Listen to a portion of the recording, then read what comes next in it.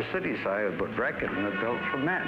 Well, if the buildings put in the cities make it impossible for men to live there, then you ask, well, what's the city all about?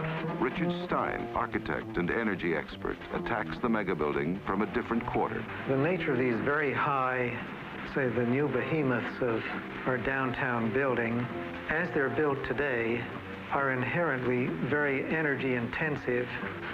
And a building like World Trade Center was quoted as requiring something like five watts per square foot more than even the characteristic high-rise building. And these are just the demands within the building, and not considering at all where the energy comes from. The fact that the buildings are sealed from the outside means that the complete interior environment has to be provided by mechanical means.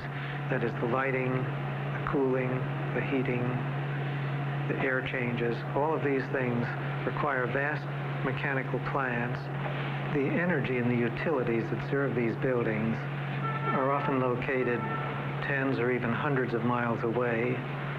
The World Trade Center, for example, which has a power consumption that's the equivalent of the city the size of Schenectady, actually gets its power, or Con Edison is now bringing power in, shall I say, from as far away as Quebec, and as far south as Delaware to serve the New York metropolitan area.